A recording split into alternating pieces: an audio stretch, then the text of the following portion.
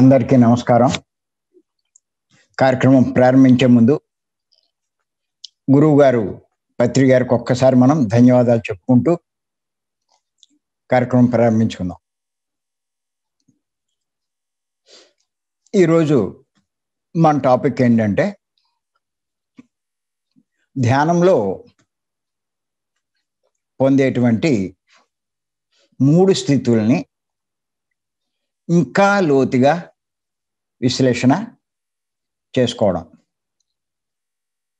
అంటే ఇంతకుముందు మనం ధ్యానంలో ఎన్నో విషయాలు చెప్పుకున్నాం. బాగా కూర్చోవాలంటే బాగా కుదరాలంటే ఆలోచనలు తగ్గాలంటే ఇలాగ అన్నీ మనం టాపిక్స్ వైజ్ మనం చెప్పుకుంటూ వచ్చాం. అలాగే ఇంతకుముందు ఏం చేశామంటే ఈ ధ్యానంలో మూడు స్థితులు ఉన్నాయి. అని మనం చెప్పుకున్నాం. ఆ మూడు స్థితులు ఎలా కలుగుతాయి?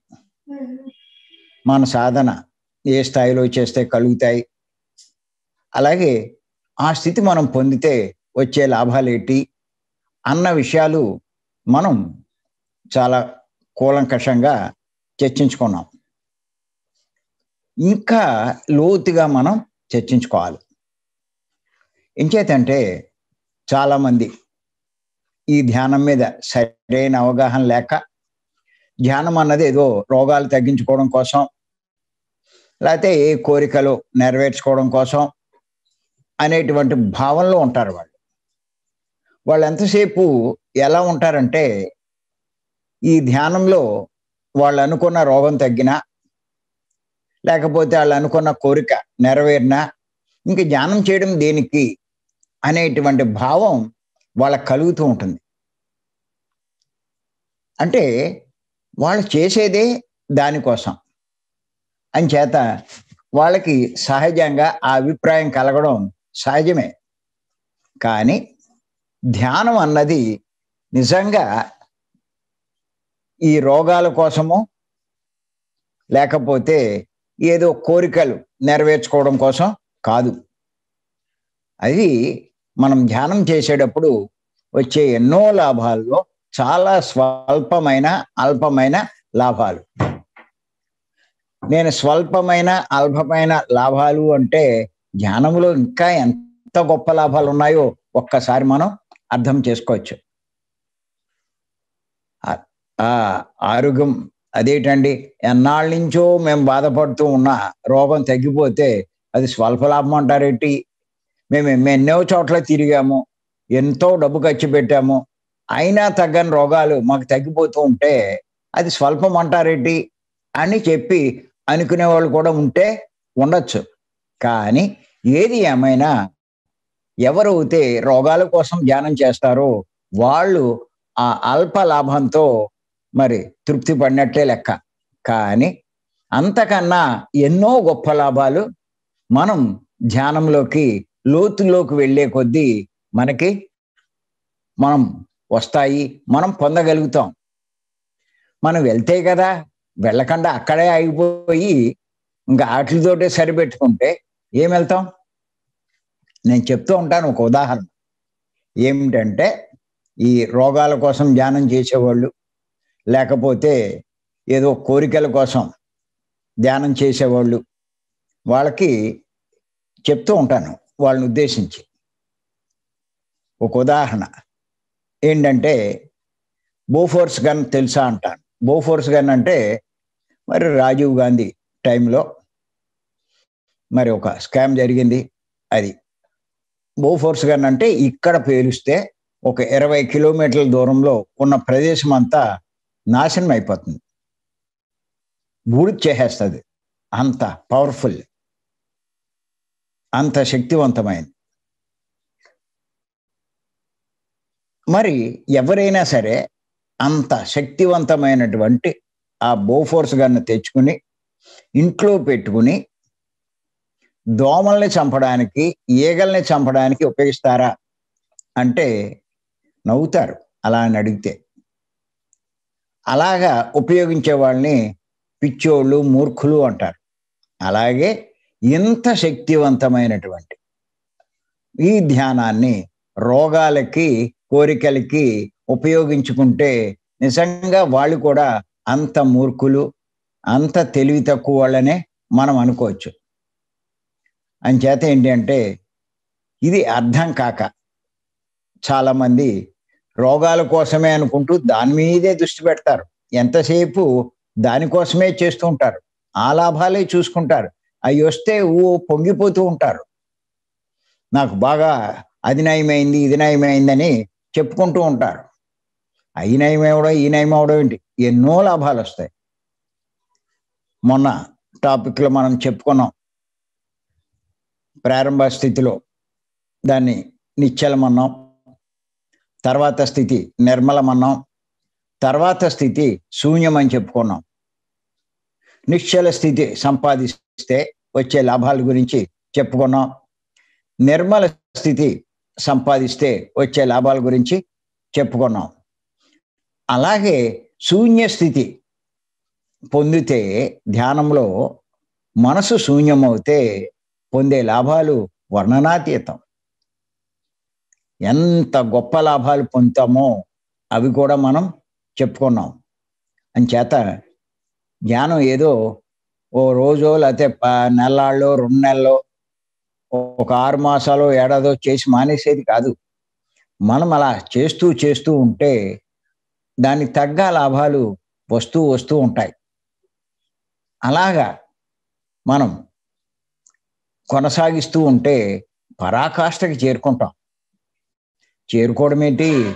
ఎవరినైతే భూమి మీద గొప్పవారు అని అంటున్నామో వాళ్ళలా మనము తయారవుతాం. చూడండి. ఓ సత్యసాయిబాబాని ప్రతి ఒక్కళ్ళు దేవుడు దేవుడు అని చెప్పి ఎన్ని లక్షల మంది వెంటబడతారు.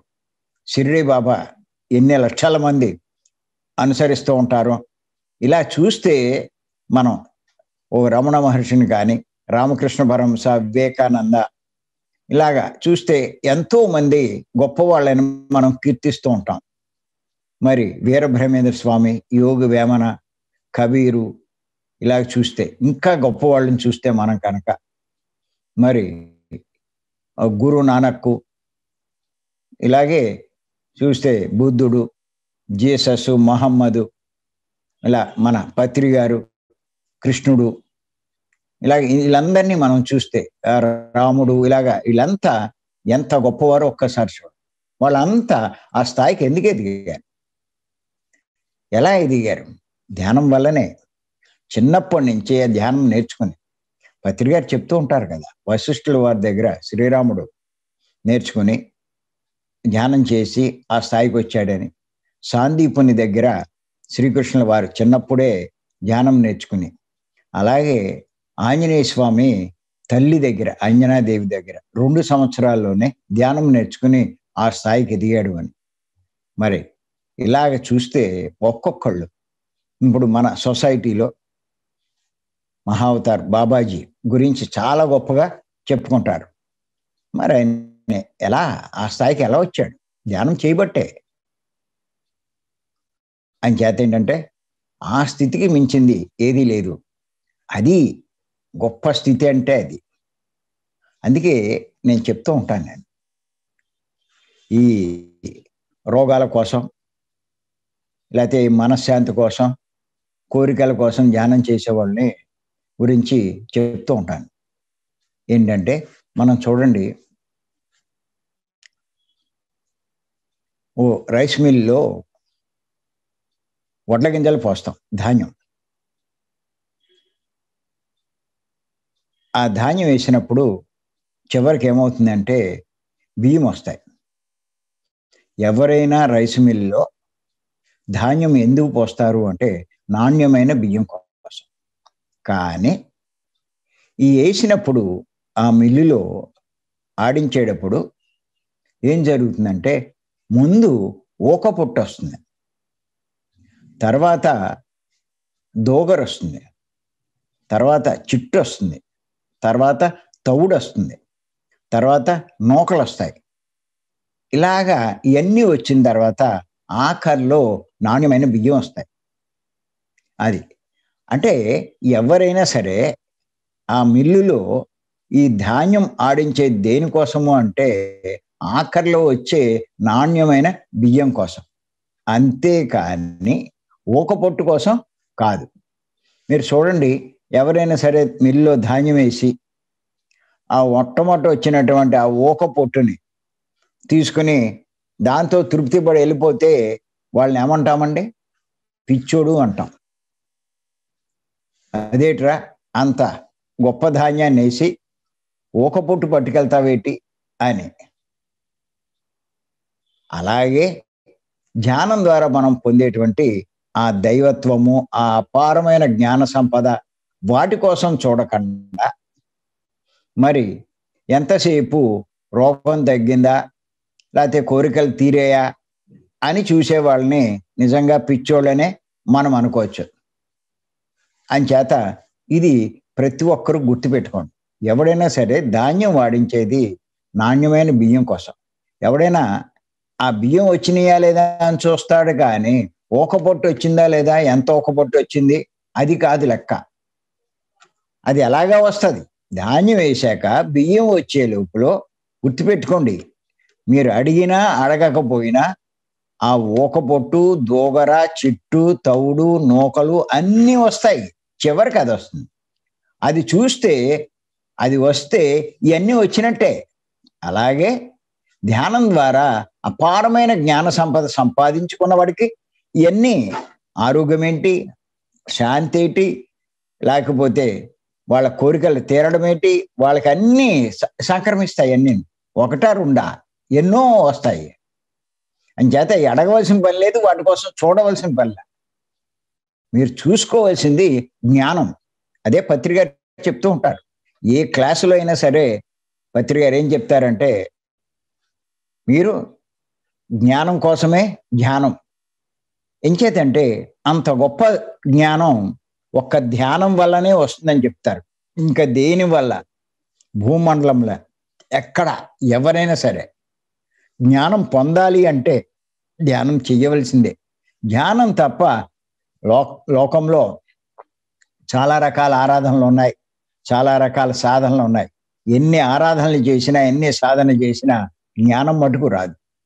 కావాలంటే మీరు పూజలు చేయండి భజనలు చేయండి స్తోత్రాలు చదవండి లేకపోతే మంత్రాలు చదవండి జపాలు చేయండి యజ్ఞ యాగాలు చేయండి ఎన్ని చేసినా సరే మీకు జ్ఞానం అన్నది రాదు. ఆ జ్ఞానం అన్నది అద్భుతమైన విలువ కట్టలేని ఆ జ్ఞానం ఒక్క ధ్యానం ద్వారానే వస్తుంది అన్నది తెలుసుకోవాలి. అలాగే ఎన్నో సాధనలు ఉన్నాయి. దేహ సాధనలు ఉన్నాయి. యోగాసనాలు ఉన్నాయి. మరి ప్రాణాయామాలు ఇవన్నీ ఉన్నాయి. మనో సాధనలు ఉన్నాయి. ఇలాగ రకరకాలటువంటి సాధనలు ఉన్నాయి. ఏ సాధన చేసినా సరే మరి జ్ఞానం అన్నది రాదు. అంచేత అంత గొప్పది ఈ ధ్యానం. ఇది బాగా బాగా అర్థం చేసుకోవాలి. ఇటువంటి జ్ఞానం మనం పొందాలి అంటే ఇందులో మూడు స్థితులు ఉన్నాయని మనం చెప్పుకున్నాం. వాటి గురించి ఇంకా కొంచెం మనం లోతుగా తెలుసుకుందాం. ఏది ఏమైనా ముఖ్యంగా మనం తెలుసుకోవాల్సింది ఏంటంటే ఇది చాలా చాలా గొప్పది. ధ్యానం అన్నది చాలా చాలా గొప్పది. శ్వాసమే ధ్యాస అన్నది చాలా చాలా గొప్పది. ఎప్పుడో చేసిన పుణ్యకర్మ వల్ల మనం ఈ మార్గంలోకి రాగలిగాం. పత్రి గారు లాంటి గురువు మనకి లభించారు ఆయన ఉండగా భూమి మీద మనము భూమి మీదకి రాగడం జరిగింది. నిజంగా ఇది మన అదృష్టమే. మనం భూమి మీదకి వచ్చినప్పుడు ఆయన లేకపోతే ఒకవేళ ఆయన ఉన్నా మనకి తెలియకపోతే తెలిసినా మనం దాన్ని అర్థం చేసుకోలేక అనుసరించకపోతే నష్టపోయేది మనమే. ఇంత చెప్పి ఇంత చేసినా చాలామంది ఇంకా ఆ ఆరోగ్యంతోటో లేకపోతే ఆ కోరికలతోటో మా అబ్బాయికి పెళ్ళయిందా మా అమ్మాయికి ఉద్యోగం వచ్చిందా లేకపోతే ఈ పిల్లలు అబ్బాయి పుట్టాడా అమ్మాయి పుట్టిందా ఈ గోళ్ళలోనే ఉంటారు తప్ప ఈ దీని గురించి జ్ఞానం గురించి ఆలోచించరు. ఎంచేతంటే ఎవరైతే పరిపూర్ణ జ్ఞాని అవుతారో వాళ్ళే సృష్టిలో వారి యొక్క లక్ష్యాన్ని చేరుకున్నవాడు అవుతాడు. ఆ లక్ష్యాన్ని సాధించిన వాడవుతాడు వాడు పరిపూర్ణ జ్ఞానం పొందితే కనుక ఆ స్థితికి చేరుకుంటాడు. ఎవడైనా సరే ఆ స్థితికి చేరుకోవడానికే ప్రయత్నిస్తారు. మీరు చూడండి చెప్తూ ఉంటారు. పెద్దలు ఏమంటారంటే స్వర్గలోకంలో ఉన్నటువంటి దేవతలు కూడా ఇంకా ఉన్నతమైనటువంటి ఆ స్థితికి చేరుకోవాలి అంటే పూర్ణ జ్ఞానాన్ని పొందాలంటే వాళ్ళైనా సరే మళ్ళా భూమి మీదకి వచ్చి మానవ జన్మ తీసుకుని ఈ ధ్యానం చేసి ఆ జ్ఞానాన్ని పొందాలి తప్ప ఇంకే దారి లేదు. మనకేమనుకుంటామంటే ఆ స్వర్గంలో ఉన్న దేవతలు చాలా గొప్పవాళ్ళు అని అనుకుంటాం. కానీ ఎంత స్వర్గంలో ఉన్న దేవతలు కూడా ఇంకా అక్కడ ఉన్నటువంటి కిన్నెర్లు కింపురుషులు గంధర్వులు ఇలాంటి వాళ్ళంతా కూడా మరి వాటికంటే వారికంటే ఇంకా ఉన్నతమైన స్థితికి చేరుకోవాలి అంటే ఓ బుద్ధుడు ఓ కృష్ణుడు ఓ జీసస్ ఓ మహమ్మదు ఇలాగా మనం ఎవరినవుతాయి ఓ వ్యాసుడు ఓ వాల్మీకి ఓ వశిష్ఠులు ఇలాగా ఎంతో మంది మహర్షులు వీళ్ళంతా బోళ్ళు మంది ఉన్నారు. అలాంటి వారి స్థాయికి చేరుకోవాలి అంటే భూమి మీదకి రావాల్సిందే. అని చేత ఏంటి అంటే అంత గొప్ప మార్గంలోకి మనం వచ్చాం. చేత మరి ఈ అవకాశం మనకి భూమి మీద లభించింది. జన్మ తీసుకున్నాం. మరి ఖచ్చితంగా ఎంతో లాభం పొందుతాం మనం. ఆ ధ్యానం చేయడం ద్వారా. చేత ఏంటంటే మనం ఈ ధ్యానం చేయడానికి టాప్ ప్రయారిటీ ఇవ్వాలి. ఏదో రోగాల కోసం అయ్యి అవి ఎలాగో వస్తాయి. నేను చెప్పాను కదా.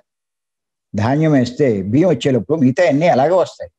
మీకు జ్ఞానం వచ్చేలోపు ఇవన్నీ ఎలాగో వస్తాయి. అని చేత దృష్టి జ్ఞానం మీద పెట్టండి.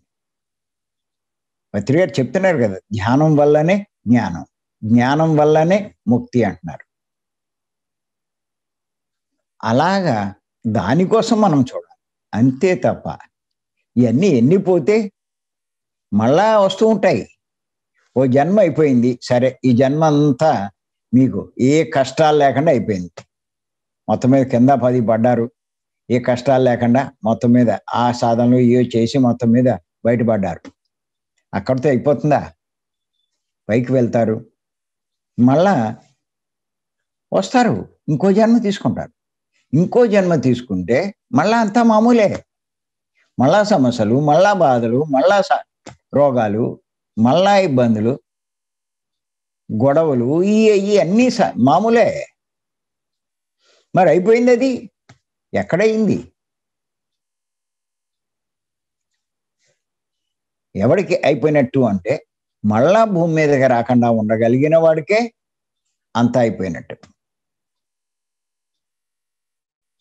మరి ఆ స్థితి పరిపూర్ణ జ్ఞానికే సాధ్యం కానీ అందరికీ సాధ్యం కాదు. ఇంచేత ఎవరైతే ఆ జ్ఞానాన్ని అపారంగా సంపాదిస్తారో ఆ జ్ఞానం అనే అగ్నిలో వాళ్ళకి జన్మ జన్మల్లో ఉన్నటువంటి కర్మలన్నీ దగ్ధమైపోతాయి. ఒక అగ్గి పుల్ల వేస్తే ఎంత పెద్ద గడ్డి మేటైనా ఎలా దగ్ధమైపోతుందో అలాగే జ్ఞానం అనే అగ్నిలో కొండన్ని కర్మలు మాడి మసైపోతాయి. ఇంకెప్పుడైతే కర్మలు లేవో భూమి మీదకి రావక్కల అది ఎవడైనా ప్రయత్నం చేయవలసింది. అంతేకాని ఈ జీవితంలో ఉన్నటువంటి ఏయో కొన్ని కష్టాలు పోయినంత మాత్రాన ఏమీ ప్రయోజనం లేదు. వాళ్ళేమి పెద్ద గొప్ప లాభాలు పొందినట్టు కాదు. ఎంచేతంటే కష్టం వెనకాల కష్టం ఉంటుంది సమస్య వెనకాల సమస్య ఉంటుంది రోగం వెనకాల ఇంకో రోగం ఉంటుంది ఇంతెందుకు మీరు? ఈ జ్ఞానంలోకి వచ్చిన వాళ్ళు కూడా కనుక్కోండి. అబ్జర్వ్ చేయండి. అంటారు వాళ్ళు. తగ్గింది కానండి మళ్ళా ఇంకోటి వచ్చింది అంటారు మరి ఎందుకు వచ్చింది ఇంకోటి? ఎందుకు వచ్చిందంటే నీకు తగ్గింది అంటే ఒక కర్మకు సంబంధించినటువంటి కర్మ పోయి అయిపోయింది. మరి కొత్త కర్మకు సంబంధించిన రోగం మళ్ళా వచ్చింది. మనకి ఎన్ని కర్మలు ఉన్నాయో మనకు తెలియదు ఎంతంత పెద్ద కర్మలు ఉన్నాయో మనకు తెలియదు అంచేత అవి మనం తెలుసుకోవాలి. వాటి మీద మనం దృష్టి పెట్టాలి. అంతేగాని ఊరికే ఏదో ఆషామాషిగా ధ్యానం చేస్తే ఏం లాభంలా అందుకే పత్రి గారు నేర్చుకునేటప్పుడు ఎవరి వయసు ఎంత ఉంటే అంత ధ్యానం అంటారు. నీకు పది సంవత్సరాల వయసు ఉంటే పది నిమిషాలు ధ్యానం. ముప్పై సంవత్సరాల వయసు ఉంటే ముప్పై నిమిషాలు ధ్యానం. యాభై సంవత్సరాలు ఉంటే యాభై నిమిషాలు ధ్యానం. అది స్టార్టింగ్ చేసేటప్పుడు మొదట్లో చేయవలసింది. కానీ దీనికి లిమిట్ అంటూ లేదు. అలా మొదలెట్టి మెల్లిమెల్లిగా పెంచుకుంటూ వెళ్ళాలి. దానికి మినిమం అది. మినిమం వయసుకు తగ్గ ధ్యానం. మీరు కూర్చున్నారు అంటే మీ వయసు ఎంత ఉందో అన్ని నిమిషాలు ఖచ్చితంగా కూర్చోవాలి. మ్యాక్సిమం సార్ ఏమన్నారంటే పత్రి గారు ఆకాశమే హద్దు అన్నారు. ఆకాశానికి ఎలా హద్దు లేదో ధ్యానానికి హద్దు లేదు. ముమ్ముని వరం బాలయోగి ఒక లైఫ్ అంతా ధ్యానం చేశాడు ఆయన నలభై యాభై సంవత్సరాలు. హద్దేంటి దీనికి? జన్మ జన్మ అంతా దానికే ఉపయోగించాడు ఆయన. ఓ రమణ మహర్షి సమాధి స్థితికి వెళ్ళిపోయి ధ్యానంలో మూడు నాలుగు సంవత్సరాలు అలా ఉండిపోయాడు. అలా గొప్ప గొప్ప వాళ్ళంతా. అవతార్ మెహర్ బాబా. వీరబ్రహ్మే స్వామి రాఘవేంద్ర స్వామి. సజీవ సమాధి అయిపోయారు ధ్యానంలోనే అలా ఉండిపోయారు. అలాగా ఇప్పుడే యుగాల నుంచి ఆంజనేయ స్వామి ధ్యానస్థితిలోనే అలా ఉన్నాడు. ఆయనేమి శరీరంతో బయట తిరగక్కల. ఆ ధ్యానంలోనే ఆయన చేయవలసిన పనులన్నీ చేస్తున్నాడు ఆయన. మహావతార్ బాబాజీ ఇలా మనకు తెలుసున్న పేర్లు కొద్దిగా మనకు తెలియని పేర్లు ఎన్ని ఉన్నాయి చెప్పండి ఒకసారి. ఆ స్థాయికి ఎదిగి అలా ధ్యానం చేసేవాళ్ళు? సృష్టిలో ఎన్ని లక్షల మంది ఉన్నారో? మనకి వాళ్ళు కనిపించరు. అంచేత ఎవరూ లేరేమో అనుకుంటాం. ఇది తెలుసుకుంటే ప్రతి ఒక్కరూ ధ్యానం చేస్తారు. చెయ్యాలని అంటున్నారు పత్రి గారు. మానవుడి యొక్క లక్ష్యం ధ్యానం చేసి జ్ఞానాన్ని సంపాదించడం. జ్ఞానం కోసమే ధ్యానం. ఎన్నిసార్లు పత్రి గారు చెప్తున్నారు. అందుకే నేను కూడా అన్నిసార్లు చెప్తున్నాను. మీ జ్ఞానం పెంచుకోండి. మీకు అన్నీ తెలుస్తాయి. జ్ఞానం లేకపోతే ఏమీ తెలియవు. అర్థం కావు చెప్పిన. ఇవన్నీ నాకెందుకండి? నాకు రోగం తగ్గితే చాలండి అంటాడు. రోగం తగ్గితే చాలు రైటే. ఏదో కొద్దిపాటు ధ్యానం చేసి తగ్గితే సరిపోతుందా? మళ్ళా రాదా? మరి ఒక నాలుగైదు సంవత్సరాల క్రితం కడతాల్లో మీరు కనుక గమనించినట్లయితే కర్తాల్ మహాయజ్ఞంలో. నాడీపతి వైద్యం పెట్టారు. అంటే రోగాలు తగ్గించాయి. అంటే సూదులై పొడుస్తారు. ఆ రోగాన్ని బట్టి అక్కడ సూదులతో పొడిస్తే ఆ రోగం తగ్గుతుందని చెప్పి. మీరు అప్పుడు గమనిస్తే చూస్తే ఇంచుమించు అంతకుముందు ఏంటంటే అంతకుముందు యజ్ఞాల్లో భోజనాల దగ్గర పెద్ద పెద్ద క్యూలు ఉండేవి. ఇప్పుడు ఆ సంవత్సరం ఏమైందంటే ఈ నాడీపతి దగ్గరే పెద్ద పెద్ద క్యూలు ఉన్నాయి. నిజంగా ఇంచుమించు ఇంకా ఖాళీ లేదు దొరికినా ఉపయోగం లేదు అని చాలా మంది ఉండిపోయారు కానీ లేకపోతే చాలా మంది మరి దాంట్లో ట్రీట్మెంట్ చేయించుకునేవారు. దేనికి వెళ్ళారు అంటే ఏదో ఒక రోగం అయ్యి ఉన్నట్టేగా మరి గత ఇరవై పాతి సంవత్సరాలు ముప్పై సంవత్సరాలు చెప్తూనే ఉన్నాం. ఏమని? ధ్యానం చేస్తే ఇంకే రోగం ఉండదని. మరి ఎందుకు అంతమంది ఉన్నారు? ఇరవై ఏళ్ళ నుంచి పాతికేళ్ళ నుంచి ధ్యానంలోకి వచ్చి ఎంతోమంది అందులో ఉన్నారు అంటే ఉంటుంది మీరు ధ్యానం చేస్తే. మన వాళ్ళు చెప్పినట్టే ఈ కరెక్టే. కొన్ని తగ్గుతాయి. తగ్గవని నేనేమంటలా అసలు తగ్గవని నేనేమంటలా కొన్ని తగ్గచ్చు. కానీ ఉన్న కర్మలు మళ్ళీ బయటెడతాయి కదా. మొత్తం కర్మలు మనం ఎక్కడ దగ్ధం చేశాం? అంత దగ్ధం మీరు చెయ్యాలి అంటే ఇప్పుడు నేను చెప్పినట్టు జ్ఞానం మీద దృష్టి పెట్టాలి. అందుకే నేను అంటుంటా జ్ఞానాన్ని పొందితే అన్నీ పొందినట్టే అని చెప్పి. అంతేగాని ఒక ఆరోగ్యం పొందితే రోగం తగ్గితే మీకు మొత్త లాభాలంతా జీవితంలో వచ్చినట్టేమీ కాదు. రోగం తగ్గింది. అశాంతి ఉండదా? సమస్యలు ఉండవా? బాధలు ఉండవా? కుటుంబ బాంధవ్యాలన్నీ సరిగ్గా ఉన్నాయా? ఇంకా ఎన్ని సమస్యలు ఉన్నాయి ప్రతి ఒక్క మానవుడికి? ఇవన్నీ పోయినట్టేనా? ఇవన్నీ చూసుకోవాలి.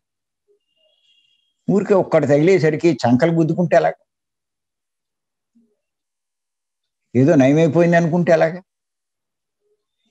రాకుండా ఉండాలి. అది ముఖ్యం. మరలా రాని స్థితికి చేరుకోవాలి. అప్పుడు మనం బయటపడినట్టు. అంచేత ఇవన్నీ బాగా గుర్తుపెట్టుకోండి.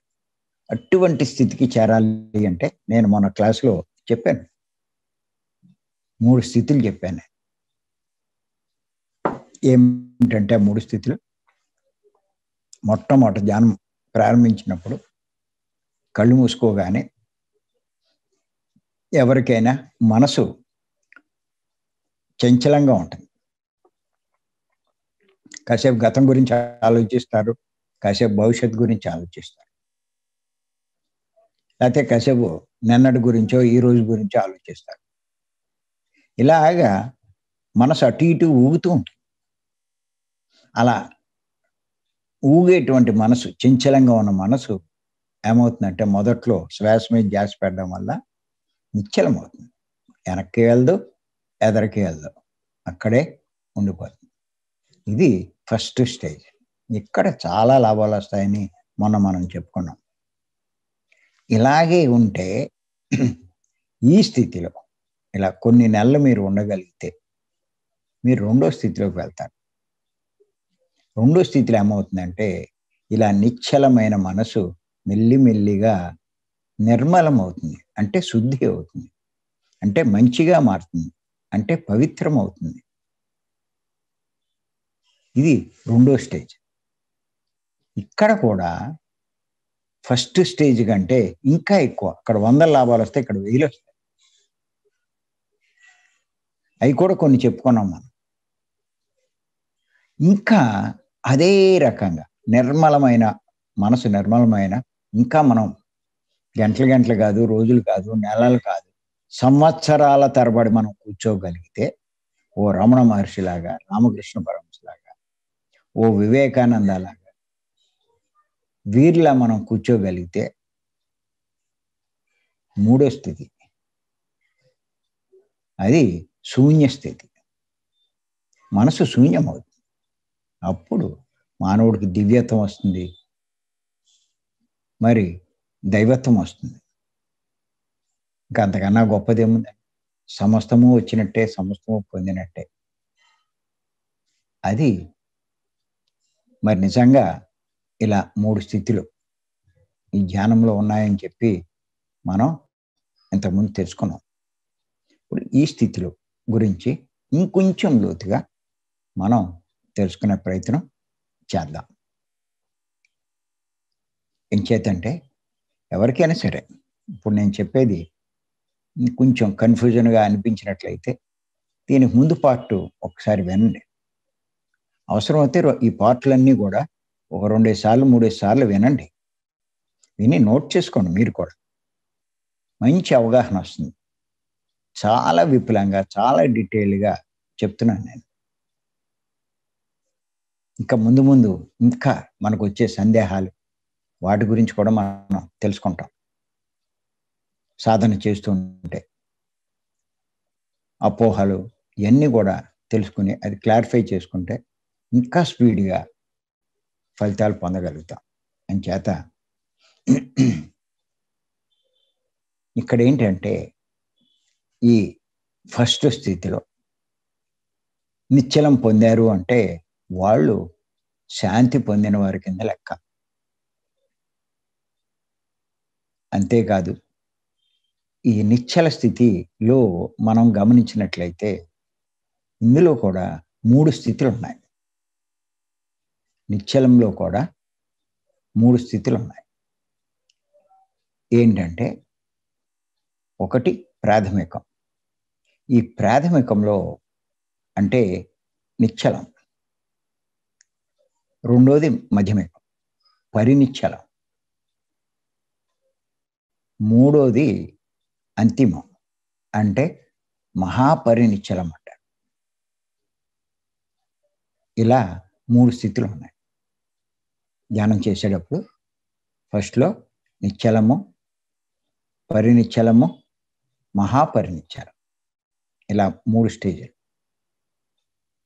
ప్రారంభంలో ఎవరికైనా సరే నిశ్చల స్థితి వస్తుంది కొన్నాళ్ళు చేయగా చేయగా. ఎవరి స్థితిని బట్టి వాళ్ళు. వాళ్ళు పాటించే నియమాలు ఆహార నియమాలు ఇవన్నీ బట్టి వస్తుంది. రాకుండా ఏమీ ఉండదు. కొంచెం ఎక్కువ తక్కువ అంతే. మరి ఇక్కడ ఏంటంటే ఈ నిశ్చల స్థితి ఫస్ట్ స్టేజ్లో ఎవరైనా సరే ఒక గంట ధ్యానంలో కూర్చుంటే ఐదు లేక పది నిమిషాలు ఆలోచన లేని స్థితి పొందగలుగుతారు.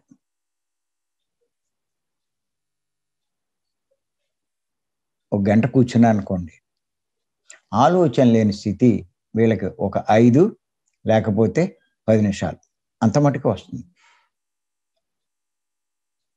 ఇటువంటి వాళ్ళకి ధ్యానంలో కూర్చోవడం కొంచెం కష్టం అవుతుంది ఇంచేతంటే ఆలోచన లేని స్థితి తక్కువ ఆలోచనలు బాగా ఎక్కువ.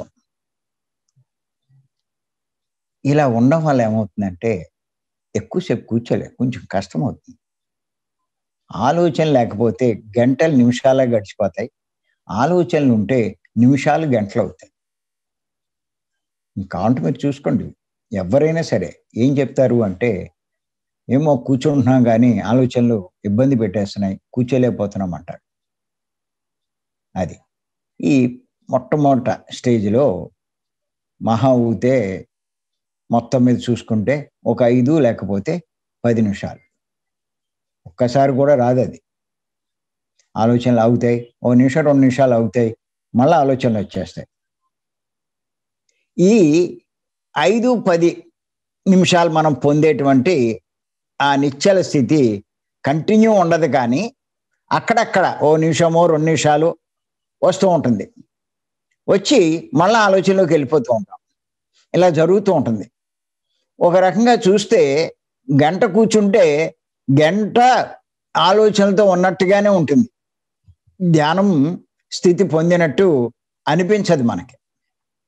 ఈ ప్రాథమిక స్థితిలో ఈ నిశ్చల స్థితిలో ఉన్నప్పుడు. కానీ గంట కూర్చుంటే మనకి తెలియకుండానే ఎంతో కొంత మరి ఎన్నో కొన్ని నిమిషాలు ఆ నిశ్చల స్థితి వస్తుంది. అంటే ఆలోచన లేని స్థితి. కొంత శక్తి కూడా వస్తుంది. ఎప్పుడైతే ఆలోచన లేని స్థితి ఒక నిమిషం వచ్చినా నిమిషంలో మనం కొంత శక్తి పొందుతూ ఉంటాం. చాలా మంది ఏమనుకుంటారంటే ఈ ఆలోచనలు ఎక్కువ వస్తూ ఉంటే మనం చేయడం వృధా అనుకుంటారు. కానీ ఒకటి గుర్తెట్టుకోండి. మీకు ఆలోచనలు వచ్చినా ఆలోచనలు రాకపోయినా ఎక్కువ ఉన్నా తక్కువ ఉన్నా మీరు కూర్చున్నారు అంటే మటుకు ఎంతో కొంత మీరు శక్తి పొందుతారు. కొంత రిలాక్సేషన్ అవుతారు. ఇంకా దానికి డిసప్పాయింట్ అవ్వాల్సిన పనేమీ లేదు. అందుకే ప్రారంభంలో నలభై రోజులు చేస్తారు అందరికీ ఆ నలభై రోజులు చేయించినప్పుడు చాలా మందికి ఏయో కొన్ని రిలీఫ్ వస్తాయి. కొంత వాళ్ళకు ఉన్నటువంటి ఎప్పటి నుంచో ఉన్న రుగ్మతులు పోవడం కాసిని కొంతమందికి రోగాలు తగ్గడం ఇవన్నీ కనిపిస్తూ ఉంటాయి. చూస్తే ఆలోచనలు ఎక్కువగానే ఉంటాయి. ఆలోచనలు ఎక్కువగా ఉన్నా కూడా వాళ్ళకి ఎలా కలిగింది అంటే మధ్య మధ్యలో వాళ్ళకి తెలియకుండానే ఆ రకమైనటువంటి ఆలోచన లేని నిశ్చల స్థితి వాళ్ళు పొందగలిగారు. దానివల్ల కొంత శక్తి పొందారు. ఆ శక్తితో వాళ్ళు ఆ లాభాలు పొందగలిగారు. అది. ఇంకా ఇంకా అలా సాధన చేస్తూ ఉంటే ఇంకా వారాల తరబడి వాళ్ళు అలా కొనసాగిస్తూ ఉంటే కనుక ఖచ్చితంగా వాళ్ళు ఏంటంటే మరి మధ్య మధ్యమ స్థితిలోకి వెళ్తారు. ఆ మధ్యమ స్థితిలో ఏమవుతుందంటే పరినిశ్చల స్థితికి వెళ్తారు. ఈ స్థితిలో వీళ్ళు కనుక ఓ గంట ధ్యానంలో కూర్చుంటే పదిహేను లేక ముప్పై నిమిషాలు ఆలోచన లేని స్థితి నిశ్చల స్థితి వీళ్ళు పొందుతారు. వీళ్ళు పొందగలుగుతారు. ఈ మధ్యమ స్థితిలో అంటే పరినిశ్చల స్థితిలో మరి ఒక గంట కూర్చుంటే మరి ఆలోచన లేనిటువంటి స్థితి వీళ్ళకి పదిహేను నుంచి ముప్పై నిమిషాల దాకా వీళ్ళు పొందగలుగుతారు. మరి చూడండి ఐదు పది నిమిషాలు పొందితేనే ఎంతో శక్తి వచ్చి ఎన్నో లాభాలు అంటున్నామే. మరి నిజంగా వీళ్ళు పదిహేను నుంచి ముప్పై ముప్పై నిమిషాల దాకా వీళ్ళు కూర్చోగలిగితే ఆ స్థితి పొందగలిగితే ఎంత శక్తి వస్తుంది ఎన్ని లాభాలు వస్తాయి. మరి ఇటువంటి వాళ్ళు ధ్యానంలో బాగా కూర్చుంటారు. ఈ పరినిశ్చల స్థితికి వెళ్ళిన వాళ్ళు గంట అంటే గంట కూర్చుంటారు రెండు గంటలు అంటే రెండు గంటలు కూర్చుంటారు. బాగా కూర్చుంటారు వాళ్ళు. పెద్ద వాళ్ళకి ఏం కష్టం అనిపించదు. ఆ టైం ప్రకారం టక్మని వచ్చి కూర్చుని ఆ గంట రెండు గంటలు వాళ్ళు అనుకున్నట్టు చేసుకుంటూ ఉంటారు. ఎంచేతంటే ఇక్కడ ఆలోచనలు ఇంచుమించు మరి ఆలోచన లేని స్థితి సెంచుమీ సరసమానంగా ఉంటుంది. అంచేత వీళ్ళకేమీ పెద్ద కష్టం అనిపించదు. అంచేత ఏంటంటే రెండు గంటలే కాదు మూడు గంటలు కూడా ఒక్కొక్కసారి కూర్చోవచ్చు వాళ్ళు. చాలామంది అలా కూర్చుంటూ ఉంటే మిగతా వాళ్ళు అనుకుంటారు అమ్మ బాబు ఎన్ని గంటలు అలా కూర్చున్నావని? కానీ ఖచ్చితంగా ఆ రకంగా తేలిగ్గా వాళ్ళు కూర్చుంటారు. అలాగే మూడో స్థితి. అంటే అంతిమ స్థితిలో ఈ నిశ్చలంలో అంతిమ స్థితి. దాన్ని ఏమంటామంటే మహాపరినిశ్చలం అంటారు. ఈ స్థితిలో ఎవరైనా సరే ఈ స్థితికి చేరుకుంటే కనుక అంటే కంటిన్యూ చేసిగా చేయగా చేయగా కొన్ని నెలలకి వాళ్ళ స్థితి సంపాదిస్తారు. కూర్చుంటే కనుక వాళ్ళు నలభై లేక యాభై నిమిషాలు ఆలోచన లేని స్థితి పొందుతారు. ఒక కూర్చున్న కానీ కళ్ళు మూసుకున్న కాడి నుంచి శ్వాస మీద గ్యాస్ పెట్టిన కాడి నుంచి ఒక ఐదు పది నిమిషాలే వాళ్ళ ఆలోచనలు ఉంటారు. మళ్ళా పూర్తిగా వాళ్ళు ఎక్కడైనా ఎవరినైనా గ్రూప్ మెడిటేషన్లో కూర్చున్నప్పుడు ఆ మాస్టర్ ఓకే చెప్తేనే వాళ్ళకి తెలుస్తుంది. లేకపోతే తెలియదు అది. అలాగే వాళ్ళు ఇవిడిగా ఇంటికాడ కూర్చున్నా కూడా ఆ టైము ఒక్కొక్కసారి తెలీదు. గంట అనుకుంటారు. గంట కూడా దాటిపోవచ్చు. అలాగా అంతసేపు కూర్చుంటుంటారు. మరి ఇది చాలా మంచి స్థితి వీళ్ళు సంపాదించినట్టే ధ్యానంలో వీళ్ళకి అసలు కూర్చున్నట్టు కూడా ఉండదు. ఇటువంటి వాళ్ళు ఏడెనిమిది గంటలు అవలేలగా కూర్చోగలుగుతారు. మేము ఇటువంటి వాళ్ళని భీమవరం మూడు రోజుల క్లాసులో ఎంతో మందిని చూసాం చాలా మంది భీమవరం క్లాసుకు వస్తే ఈ రకంగా తయారైపోతారు. అందుకే మేమేం చేస్తామంటే ఉదయం ఆరు గంటలకి కూర్చోబెడతాం. చాలా మంది అలవాటైన వాళ్ళు ఏం చేస్తారంటే మూడింటికే స్నానం చేసి రెండు మూడింటికి స్నానం చేసి కూర్చుండిపోతారు.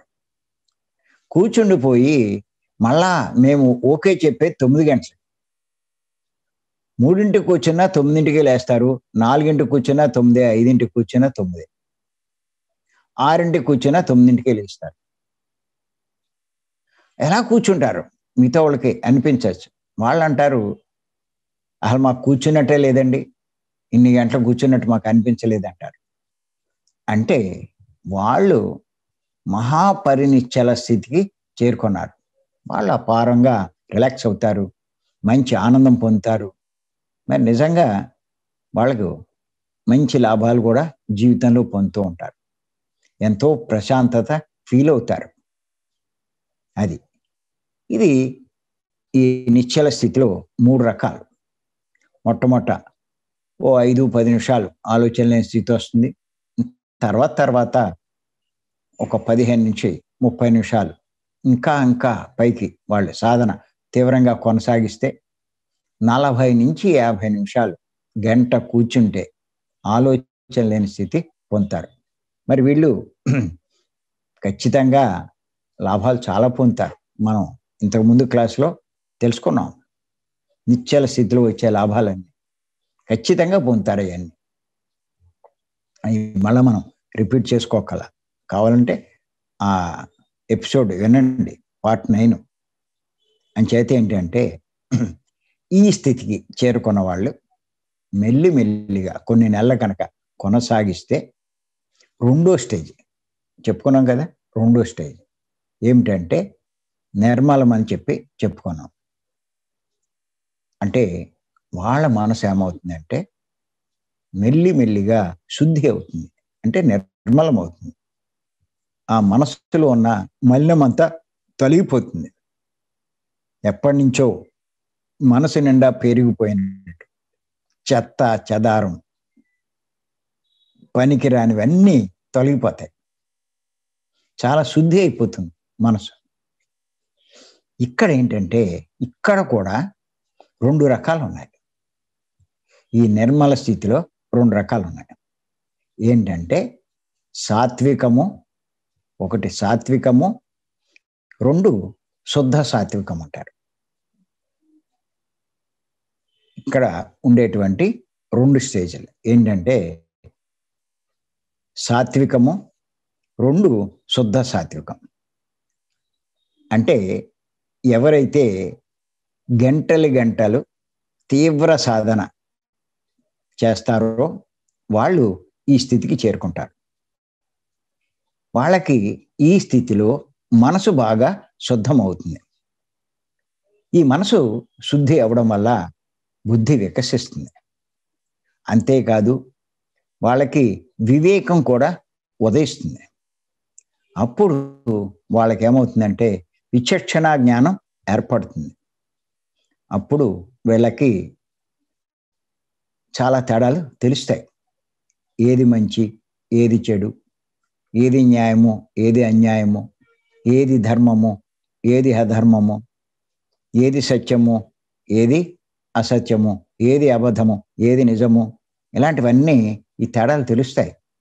అంతకుముందు ఏంటంటే వాళ్ళకి ఏది తెలిస్తే అదే ధర్మం వాళ్ళకి ఏది తెలిస్తే అదే సత్యం వాళ్ళకి ఏది తెలిస్తే అదే న్యాయం. ఇలా మాట్లాడతారు.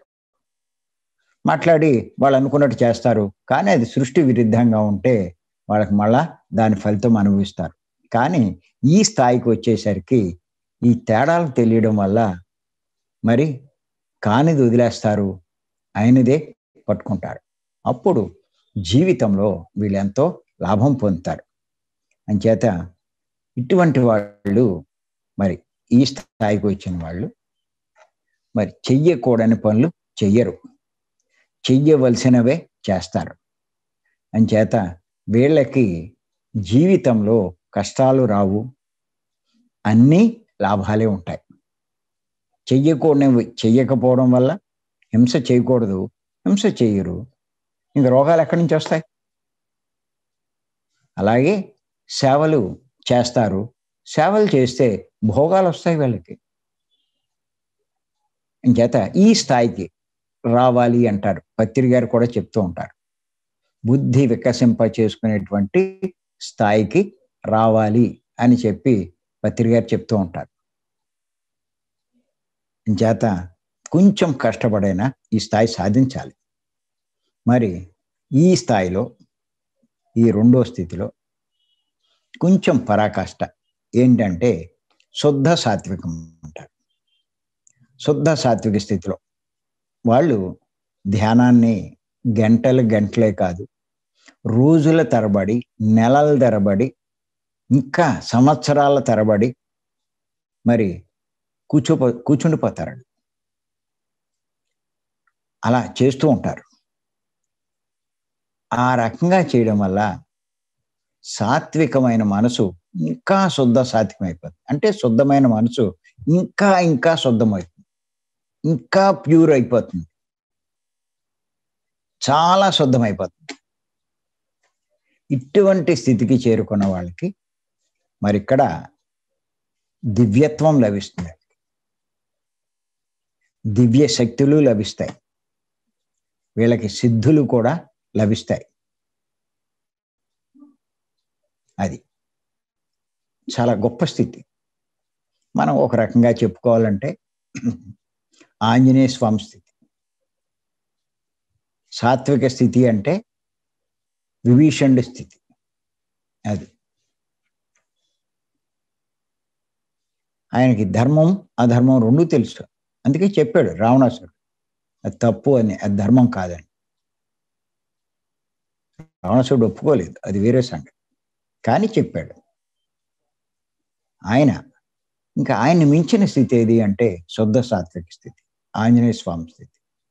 ఆంజనేయ స్వామికి అన్ని సిద్ధులు ఉన్నాయి అన్ని శక్తులు ఉన్నాయి. సముద్రాన్నే లంఘించాడు మరి పర్వతాన్ని ఎత్తుకొచ్చాడు. ఎన్నెన్నో గొప్ప కార్యాలు చేశాడు ఆయన. కారణం ఏంటంటే ఆయన శుద్ధ సాత్విక స్థితిలోకి చేరుకున్నాడు అక్కడ. అలాగే మూడో స్థితి. దాన్ని ఏమంటారంటే శూన్యము అని చెప్పుకున్నాం. నిశ్చలము నిర్మలము శూన్యం. ఈ శూన్యంలో మరల మూడు స్థితులు ఉన్నాయి. గుర్తుపెట్టుకోండి. శూన్యంలో మరల మూడు స్థితులు ఉన్నాయి. అవి ఏంటంటే శూన్యము పరిశూన్యము మహాపరిశూన్యం అంటారు. శూన్యము పరిశూన్యము మహాపరిశూన్యం.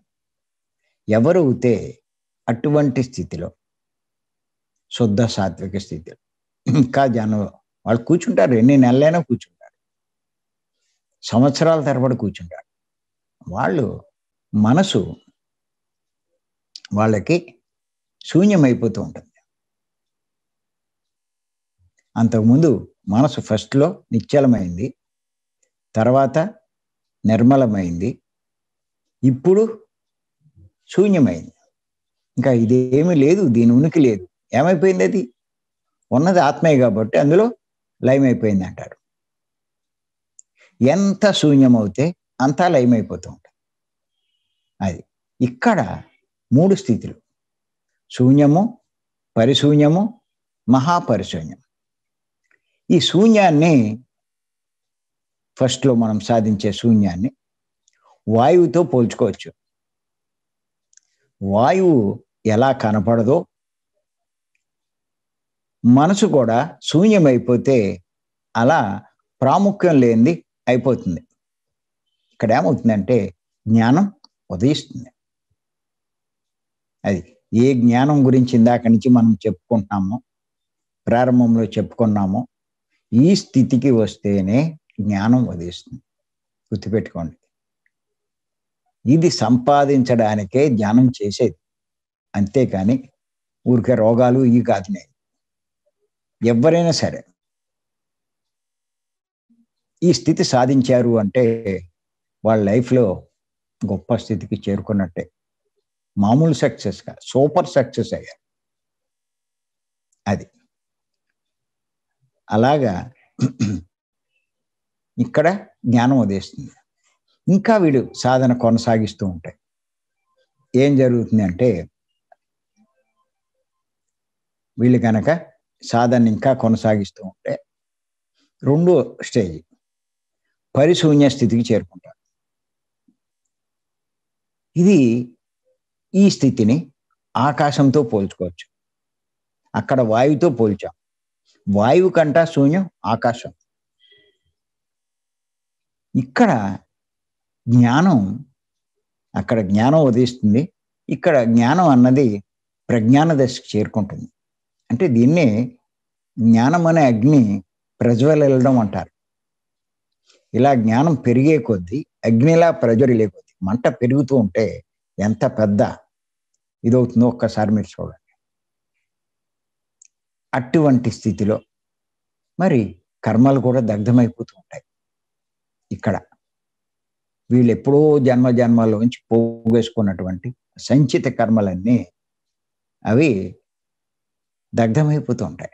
అగ్నిలో గడ్డివాము ఎలా దగ్ధమైపోతుందో ఈ కర్మలన్నీ కొన్నంత కర్మలన్నీ దగ్ధమైపోతుంటాయి ఇంకా చూడండి ఎన్ని జన్మలు అనుభవించిన కర్మలు పెరుగుతున్నాయి కానీ ఎక్కడ తగ్గట్లేదే. కానీ ఎవరైతే మరి ఈ రకంగా మరి జ్ఞానాన్ని పెంచుకుంటారో వాళ్ళ యొక్క కర్మలన్నీ మెల్లిమెల్లిగా దగ్ధమైపోతూ ఉంటాయి అంచేత ఇక్కడ కూడా ఇంకా చాలా లాభాలు పొందుతాయి. అంతేకాదు మూడో దశ ఏంటంటే మహాపరిశూన్యం. ఈ స్థితిని చైతన్యంతో పోల్చవచ్చు. ఇంకక్కడ ఏమి లేదు అక్కడ. ఆకాశం కంటే చైతన్యం ఇంకా శూన్యాతి శూన్యం. అంచేత ఇక్కడ ఏంటంటే జ్ఞానం విజ్ఞాన దశకు చేరుకుంటుంది. జ్ఞానం విజ్ఞాన దశకు చేరుకుంటుంది. వాళ్ళకి అపారంగా అనంతంగా ఉంటుంది. వాళ్ళకి తెలియందంటూ ఏది ఉండదు. వీళ్ళనే బ్రహ్మజ్ఞానులు అంటారు. లేకపోతే కో క్రియేటర్స్ అంటారు. మనకి చెప్తూ ఉంటారు బుద్ధుని జీవితంలో. ధ్యానంలో అయినా శ్వాస మీద ధ్యాస పెట్టాక మొదటి జాములో. మరి అది శూన్యమైంది. ఆ టైంలో ఆ జ్ఞానం ఆయనకు ఉదయించింది. ఆయన ఏం చేశాడంటే గత జన్మలన్నీ చూసుకున్నాడు. ఇంకా సాధన చేస్తే రెండో జాన్ జాములో పరిశూన్యమైంది మనసు. చేస్తే అందరి గత జన్మలు చూడగలిగాడు. మూడో జాములో ఏమైందంటే అలాగే కూర్చుంటే అది మహాపరిశూన్యమైంది. ఆయన జ్ఞానం అపారమైన విజ్ఞాన దశకు చేరింది. సమస్తము సృష్టిలో ఉన్న సమస్తము తెలుసుకోగలిగాడు. ఇంకా ఆయనకి తెలియందంటూ ఏది లేదు. అటువంటి స్థితికి ఆయన చేరుకున్నాడు. అది. అంచేత గుర్తుపెట్టుకోండి ధ్యానంలో ముందు మనసు నిశ్చల స్థితి వస్తుంది. ఆ నిశ్చల స్థితిలోంచి పరినిశ్చలము మహాపరినిశ్చలం. ఇంకా అదే రకంగా నెలల తరబడి కొనసాగిస్తే మనసు నిర్మలమవుతుంది. అంటే శుద్ధి అవుతుంది. అంటే సాత్విక స్థితి ఏర్పడుతుంది. దాని నుంచి ఇంకా సాధన చేస్తే శుద్ధ సాత్విక స్థితికి వెళ్తారు. ఇంకా చేస్తూ ఉంటే శూన్యమవుతూ ఉంటుంది. ఎప్పుడైతే మనసు శూన్యమైందో వాళ్ళు నిజంగా దైవత్వం పొందినట్టే. ఆత్మ పూర్తిగా మరి ఆత్మలో ఈ మనసు లయమవుతున్నట్టే. మరి మహా పరిశూన్యం చివరి స్థితికి వచ్చారు పరిశూన్యము మహాపరిశూన్యం ఆ రకంగా పొందితే ఇంకా వాళ్ళకి మించిన వాళ్ళు లేరు. వాళ్ళ జీవిత లక్ష్యాన్ని వాళ్ళు సాధించినట్టే. మరి వాళ్ళ గమ్యాన్ని వాళ్ళు చేరుకున్నట్లే. ఈ స్థాయికి వచ్చేదాకా ధ్యానం చేయాలి. రోగాల కోసం ధ్యానం కాదండి. ఇది ధ్యానం ద్వారానే ఈ స్థితి ఎవరికైనా వస్తుంది. ధ్యానం చేయకపోతే రాదు. ఇంచేత ఏదో రోగాల కోసం చేసి సరిపెట్టుకోవడం కాదు. పత్రి గారు చెప్పేది ఈ స్థాయికి చేరుకోమని. ఇంచేత ఇక్కడ ఏంటంటే ఏమండి అంత స్థితి మేము సాధించగలమా? మా వల్ల ఎక్కడ అవుతుంది? ఇలా అని మీరు అనుకోవచ్చు కానీ చేయగా చేయగా మీకు తెలియకుండానే మీ స్థితి పెరిగిపోతూ ఉంటుంది. మీరు ఊహించలేరు అనుకోలేరు. అందుకే పత్రికారు ఏమంటారంటే మీరు సంసారంలో ఉంటూనే ఈ పని చేస్తూ ఉన్నాడు అంటారు సంసారంలోనే ఆ నిర్వాణ స్థితికి బుద్ధుడు పొందినటువంటి ఆ పరాకాష్ట స్థితికి మనం కూడా చేరుకోవచ్చు. సాధన అలా చేస్తూ చేస్తూ ఉంటే ఆహార నియమాలు పాటిస్తూ ఉంటే ఖచ్చితంగా మనం చేరుకుంటాం. అంచేత ఒక స్థాయి నుంచి ఒక స్థాయికి ఒక స్థాయి నుంచి ఒక స్థాయికి అలా ఎదుగుతూ ఉంటాం. పరాకాష్ఠకి వెళ్తాం దేనికోసం బుద్ధుడు రాజ్యాన్ని సకల సంపదల్ని అన్ని వదిలేసి అడవికి వెళ్ళి ఈ యొక్క ధ్యానంలో కూర్చున్నాడు అది సాధించాడు ఆయన. తాను ఏదైతే సాధించాడో అదే ప్రపంచానికి బోధించాడు. ఆయన ప్రపంచంలో తిరిగినప్పుడు సమస్త భూమండలం అంతా జనంలోకి వచ్చారు. మొత్తం బౌద్ధులైపోయారు తర్వాత తర్వాత మళ్ళా ఇంకా గొప్ప గొప్ప వాళ్ళు ఇంకా కొంతమంది వచ్చి అవి రకరకాలుగా మారింది అనుకోండి ఆ టైంలో మొత్తం అంతా ఆయన చెప్పింది అనుసరించారు. అది. అంచేత మరి ఇవన్నీ గుర్తుపెట్టుకోండి. ధ్యానంలో ఇంకా మూడు స్థితులు ఉన్నాయని వాటిలో ఇంకా మనం లోతుకి వెళ్తే జరిగేదేంటో తెలుసుకున్నాం నెక్స్ట్ ఎపిసోడ్లో ఇంకా కొన్ని విషయాలు ధ్యానం గురించి తెలుసుకుందాం. ఈ అవకాశం ఇచ్చి మీ అందరికీ మరొక్కసారి నేను ధన్యవాదాలు చెప్తూ మరి పిఎంసి వారికి పత్రి గారికి కూడా నేను ధన్యవాదాలు చెప్తాను. Thank you thank you thank you